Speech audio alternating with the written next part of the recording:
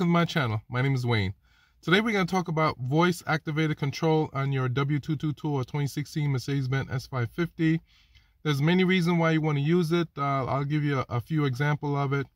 Uh, let's say if you're like myself, you like to listen to various um, radio stations and anywhere from let's say 93.1 to, oh, to 107.5 and everything in between you can easily use either the uh, knob on the center uh, control or you can use the steering wheel but that's kind of tedious when it's a lot easier just to press a button on the steering wheel which is the enable talk and you, you verbally say the the station's number and the the car will switch it for you or you want to make a phone call you can either um, call someone from your address book or manually um, spell out the number or say the number and the car will actually put it on the screen and make that phone call for you.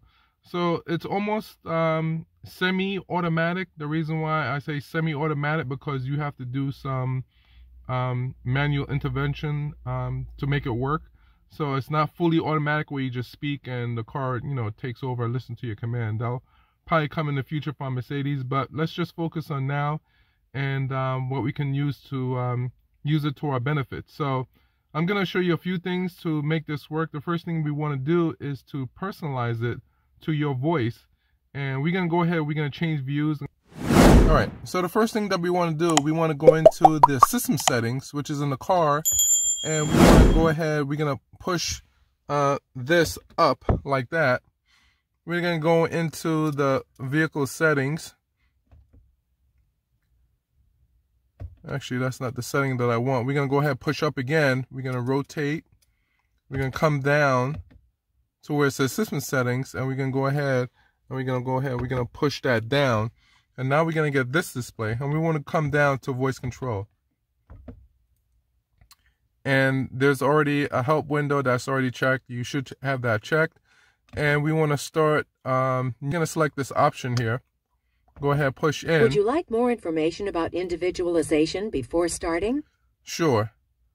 So, the purpose of individualization is to adapt voice control even better to your voice. To do so, the system reads various number sequences and voice commands out loud in two separate parts. Please repeat these sequences. You can either quit individualization after completing the first training part or you can continue individualization with the second part. The data stored from a previous session will be overwritten. The data with the factory settings for voice control will not be lost, however. You can reactivate this data at any time. In the System menu of your command system, individualization takes approximately 5 minutes. Please switch off all devices that could cause interference during this period, such as the radio, telephone, navigation system, etc.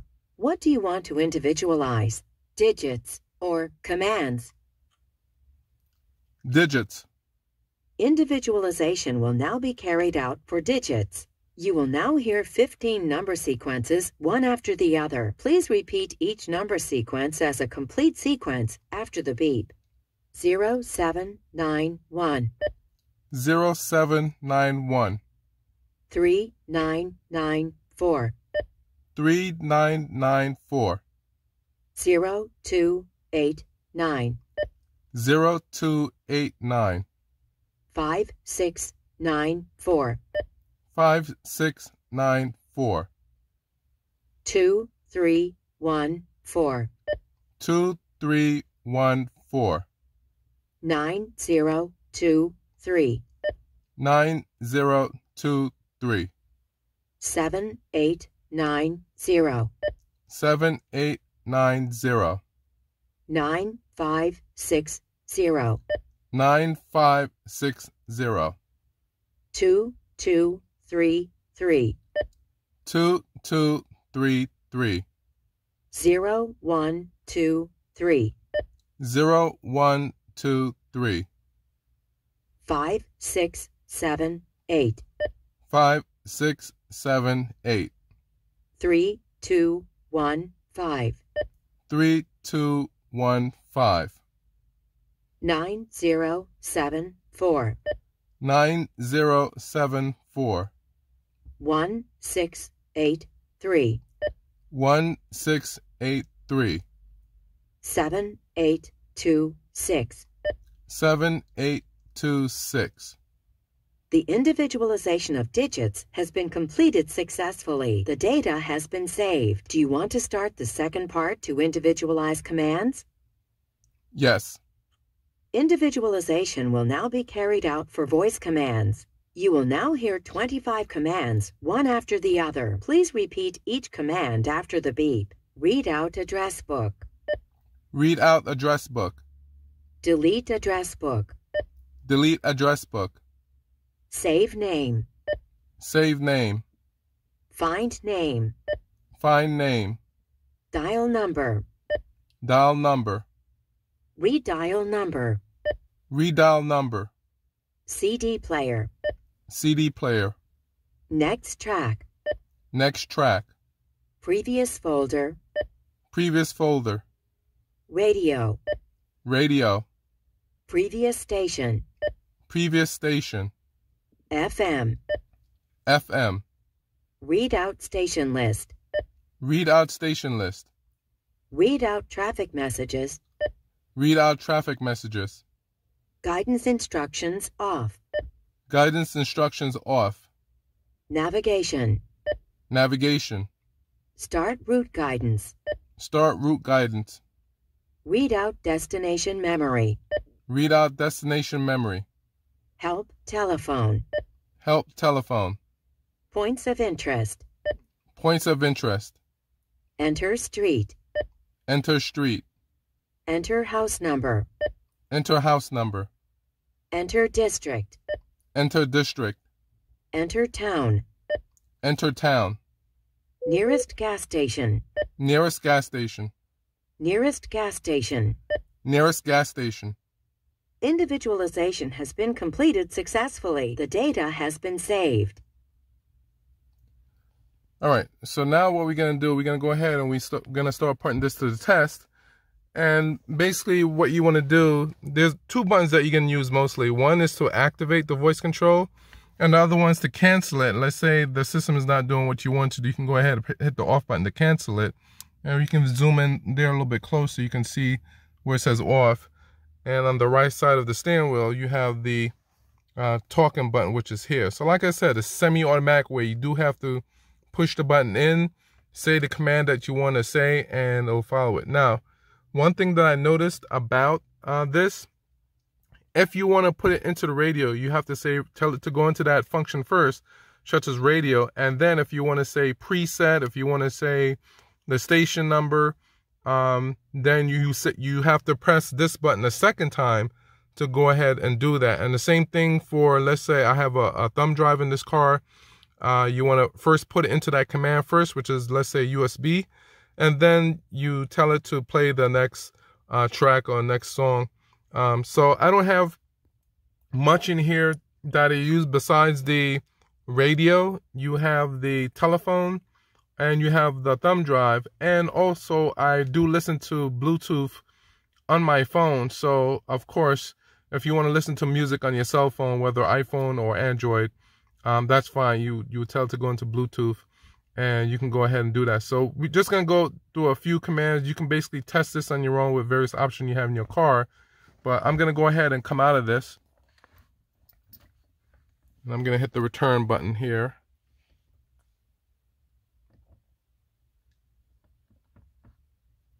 and I'm going to hit the radio button just to put it in radio. And I'm going to start giving it a command. And I do have, um, let's go into it. I do have presets. So let's go down to the presets. There go my presets. Anything from zero, one, two, three, four, going all the way down. And I can actually say uh, radio and tell it a preset and actually go into to that preset for that radio station. So I'm going to go ahead and try that now. I'm going to turn up the audio just a little bit. All right. So let's go ahead. We'll, we'll test it. We're going to go ahead and we're going to press the um, voice control. Preset 2. Come back here again. Preset 7. All right. Now I'm going to tell it um, a specific station that I want to listen to. 93.1. And we're going to try um, one more station. 106.7. All right, so that's basically you getting the hang of it. Let's go ahead and try another feature. I'm going to go ahead and try the um, the telephone. So let's go ahead, come in here. Telephone. All right. So let's tell it to dial a number. Dial number. Please say the number. 718 718 740 740 2833 2833 Correction. 718740. Please continue. 2833 2833 Okay. Daddy, home landline, dialing. I'm gonna switch it to the USB because I have a USB thumb drive uh, in the in the center um, compartment right here. So I'm gonna go ahead and press the audio button and say USB. USB.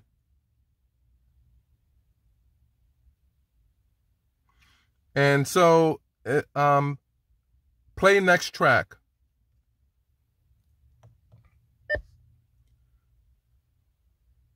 Next track. All right, so it's playing the next track. We can go ahead and hit that button again. Next track.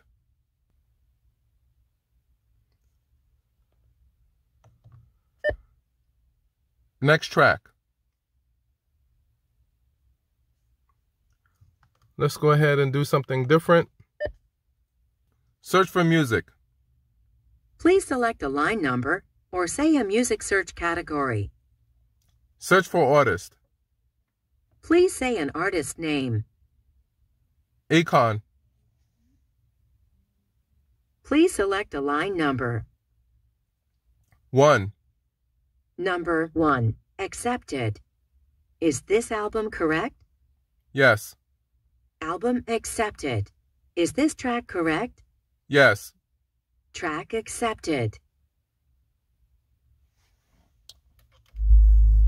All right, so it's already playing the track. Let's go into the Bluetooth. So let's go ahead and select Bluetooth here. Bluetooth audio. All right, and that's actually connecting to my Bluetooth audio. All right, so right now uh, we're in the Bluetooth audio. Now, depending on how you set up your phone, whether to pause uh, music when your headphones uh, detach or your Bluetooth headphones detach will determine how the car um, reacts because it's basically taking command from your phone. So we can go ahead and right now uh, we're in the Bluetooth setting. We're playing music and I'm going to go ahead and I'm going to press the voice activation. Next track.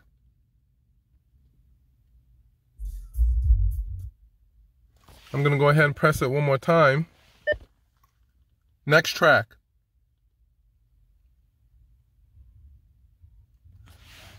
I'm to do it one more time. Next track.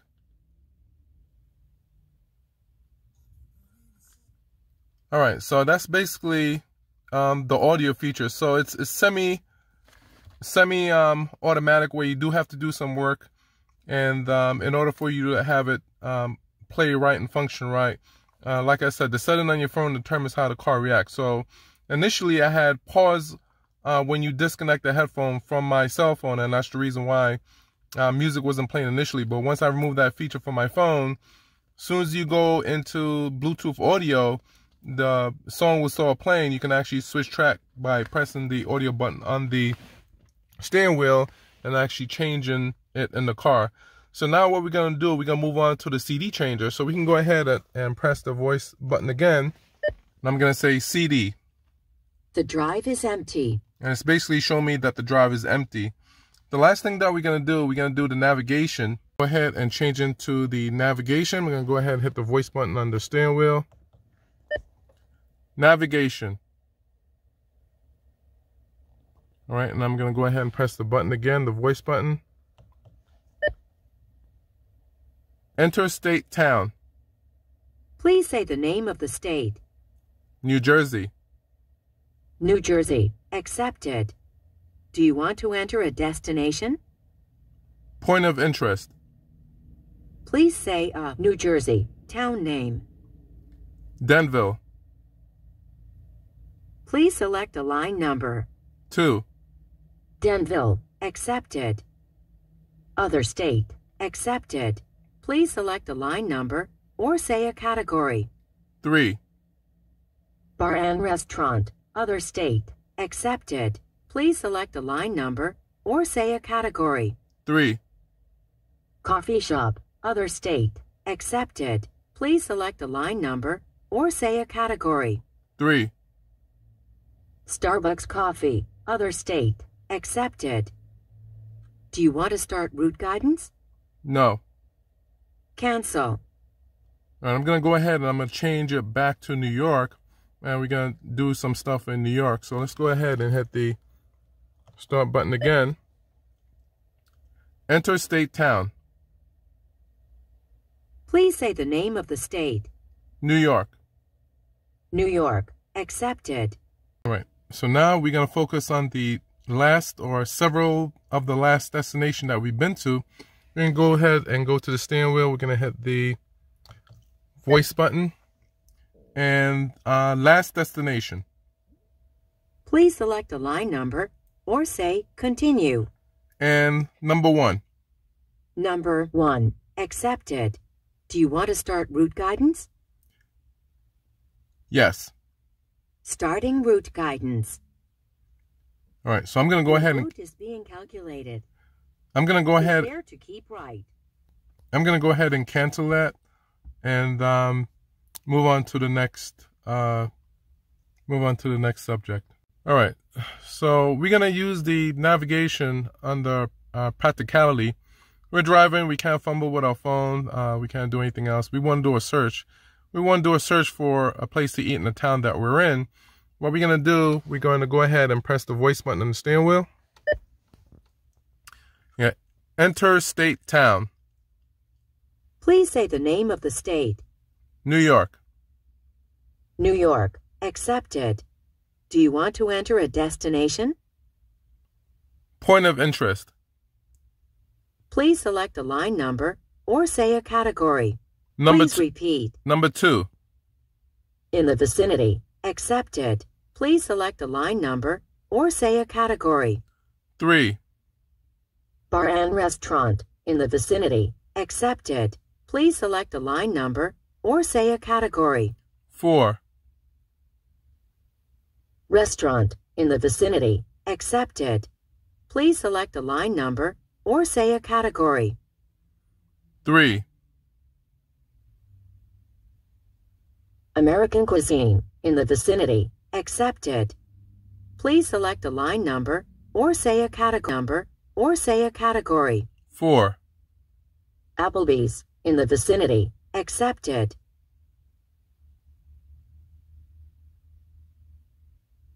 Please select a line number or say a POI.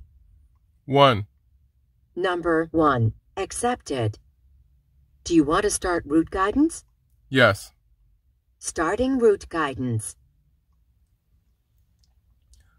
All right. So Prepare to keep right. This is us basically uh, using the uh, voice to control the navigation under uh, practicality. You're driving, you don't have time to look for stuff. You have the phone um, or you have your voice control the navigation to find you a place to eat. And um, so far it did that. So um, like I said before, using the voice to control the navigation does take some work on your part. Um, you have to have some uh, patience uh, or extreme patience. And um, it'll work. You have to go ahead and play with it and, you know, trial and error. But this is just a gist of how to use the voice activating command on the W222 2016 Mercedes-Benz S550.